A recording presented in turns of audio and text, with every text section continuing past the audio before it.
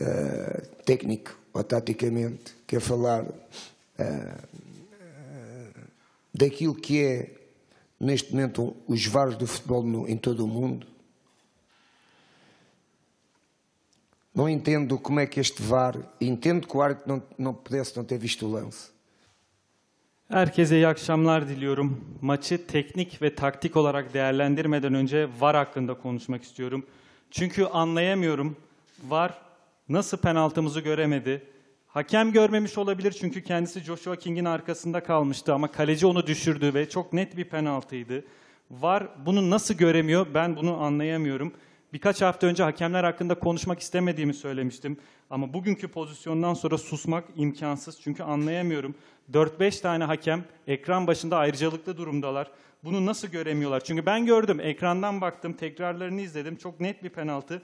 Var bunu nasıl göremez? Bunu anlayamıyorum. Verme, vermedi var çünkü vermek istemedi. Maça gelecek olursak çekişmeli bir maç oldu. Pozisyonlara girdik. Joao ve Ferdi ile girmiş olduğumuz pozisyonlar vardı. İlk 10 dakikada iki tane pozisyona girdik. Rakibimizin bir tane şutu vardı. Defansif anlamda kuvvetliydik. İkinci maçta mücadele edip finale kalmak için elimizden geleni yapacağız taraftarlarımızın da yardımıyla. Çünkü taraftarlarımız da finale çı- çıkmamızı istiyorlar. Biz oynadığımız bütün takımlara saygı duyuyoruz ki Sivas Spor da iyi bir takım. Ama ikinci maçta elimizden gelip geleni yapıp finale çıkmak istiyoruz.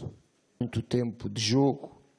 Eh, ele começou a treinar hoje eh, e pensamos que no próximo jogo ele já vai estar no jogo.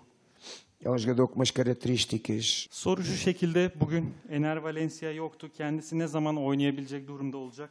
Ener Valencia bilmiş oldu, bildiğiniz gibi burada oynadığımız ilk maçta bir sakatlık, bir problem yaşadı ama bu bir kas sakatlığı değildi.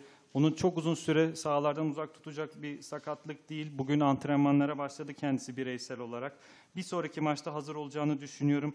Kendisi çok farklı özelliklere sahip bir oyuncu. Bu yüzden zaten ligde en çok gol atan oyuncu. Ama sorunuza cevap verecek olursam bir sonraki maçta oynayabilecek olacağını düşünüyorum. Başka soru var mı? Şimdi e, iki takım da e, avantaj yakalamak için oynadık. Hem Fenerbahçe hem biz olalım.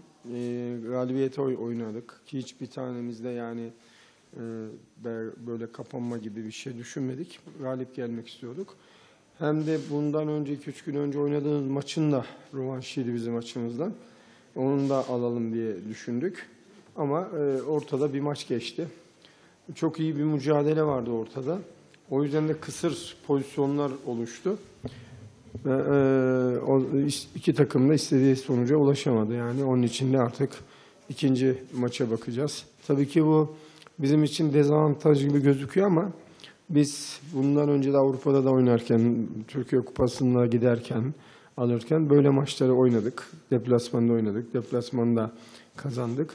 Tabii ki Fenerbahçe ile kendi sahasında oynamak e, zor. Çünkü her şeyden önce çok büyük bir taraftara sahipler. Kadroları zaten gerçekten iyi kadroları var ve e, bireysel kadroları var. Her an oyunun kaderini değiştirecek oyunculara da sahipler. Ama biz bugün daha önce oynadığımız maçtaki hataları yapmadık. Gayet iyi şekilde mücadele ettik. Bir iki tane de pozisyon yakaladık. Fenerbahçe de hemen hemen aynı şekilde yakaladı. Yani ortada geçen bir maçtı. Şimdi tek e, amacımız bu maçtaki maçı iyi bir şekilde bitirmek yani. Sorumuz o.